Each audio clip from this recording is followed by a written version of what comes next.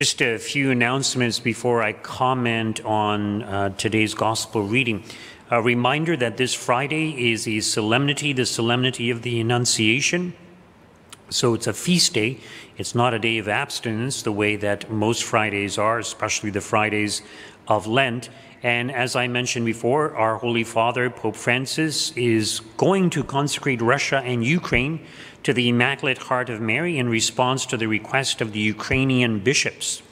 And we've been all invited to participate in this, all the bishops, priests, and, and laity. And so our time um, will be at 12 noon. So at, in, in Rome, it will be 5 p.m. Our time is 12 noon to be at the exact same time. And we will have a rosary leading up to it. So that rosary will start at 11.30 a.m. I will lead that, that rosary, and then we will do the consecration. We will have the consecration prayer available at that time. Some people have been asking me about it, and I haven't heard anything yet, um, but we will have the uh, some consecration prayer available for all of us.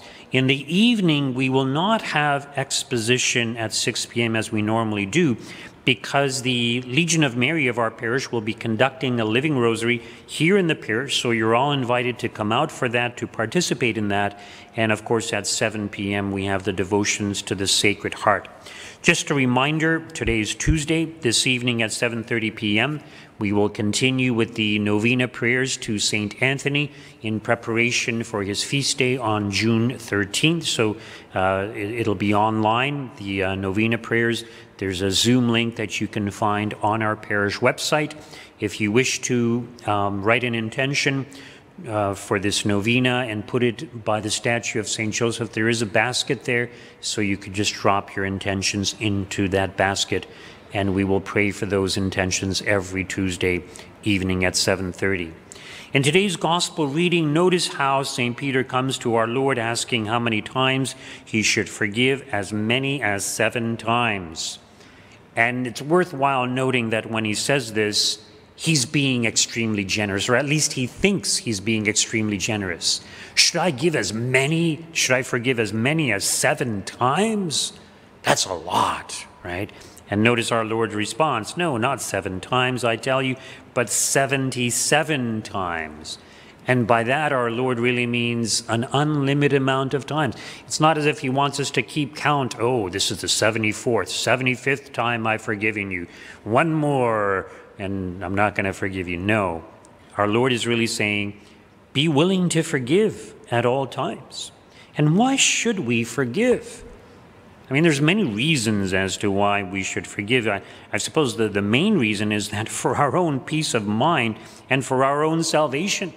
So when we hold on to a grudge, when we hold on to anger, it actually makes us more miserable and affects our relationship, even with the people that we love. And of course, the reality is if we don't forgive, as our Lord points out, we cannot be forgiven. And our Lord reiterates this a number of times in the gospel. This is one of the most important things to forgive, to love everyone. And the reality is that when someone offends us, when someone hurts us, no matter how they, they did it or no matter what they did, if they have sinned, if they have done something wrong, they have hurt themselves more than they have hurt us. And it's not for us to take justice into our own hands because, as our Lord points out, we ourselves are sinners. So we are deserving of the same kinds of punishment. So we need to leave justice to God. God is going to punish them. And the damage that they cause to themselves because of their sins, as I mentioned, is far worse than the harm they do to us. And so the reality is we should actually feel sorry for them. We should pray for them. St. Francis de Sales says that when we see someone doing something wrong, or even if they do something wrong to us, there may be hundreds of reasons as to why they're acting the way that they are acting, and we should try to come up with the most charitable explanation. Well, maybe they had a bad day. Maybe they didn't know what they really said. Maybe they just spoke without thinking. Maybe it was just a, an impulse. Maybe they didn't uh, weren't taught properly. There's there's so many possibilities. And, and if we come up with the most charitable explanation, it's almost like we're excusing them. Not to say that what they did is okay, but we don't hold a grudge against them.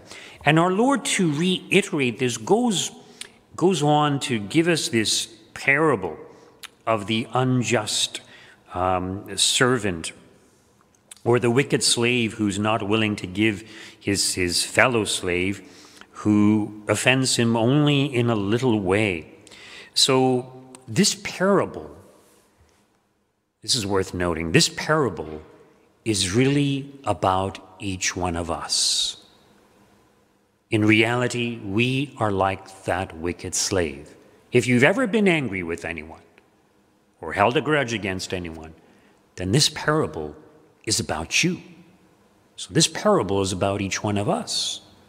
So every time, you know, this, this gospel passage comes up, you know, it, it mentions that the, the wicked slave owed his master 10,000 talents, whereas uh, the, man, the, uh, the slave's fellow slave owed him 100 denarii.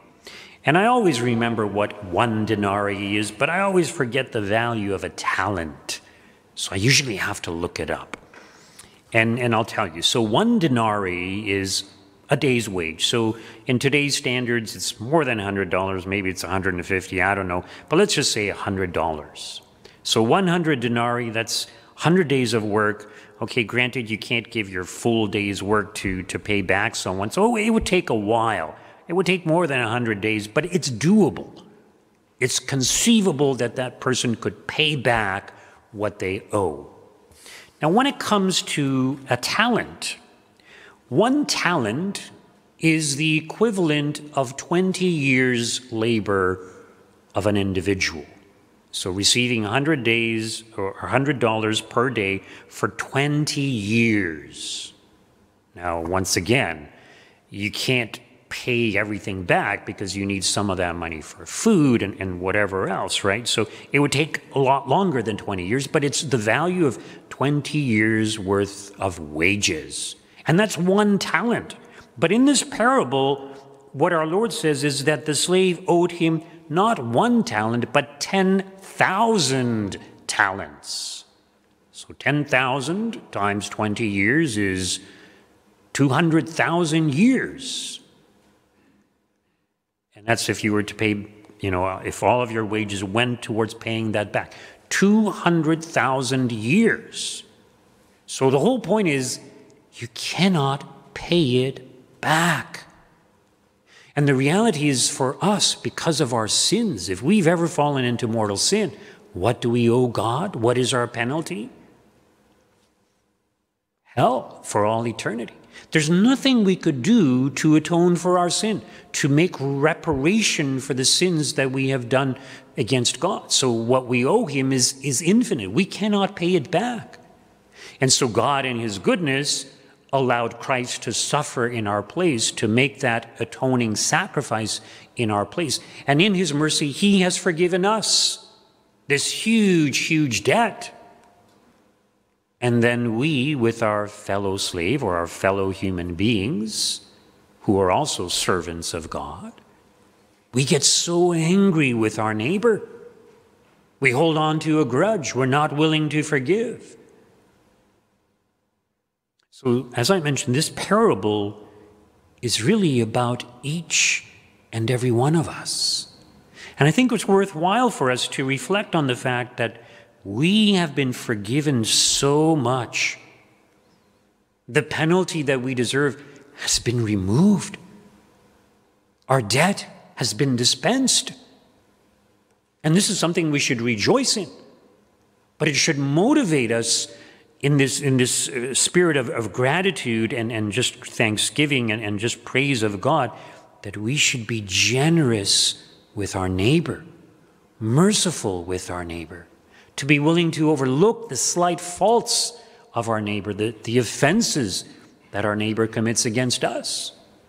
And even if our neighbor were to torture us and, let's say, to murder us, even then we should forgive because even that offense is not as great as our sins against God. And the reality is that because of our mortal sins, we have crucified Christ. We are responsible for his crucifixion because of our sins. If no one had ever sinned, Christ would not have had to die. If only one person committed a mortal sin, Christ would still die for that person. So Christ took every one of our sins upon himself and died because of my sins and your sins. So no matter what anyone does to us, even if they were to murder us, we should have a spirit of forgiveness.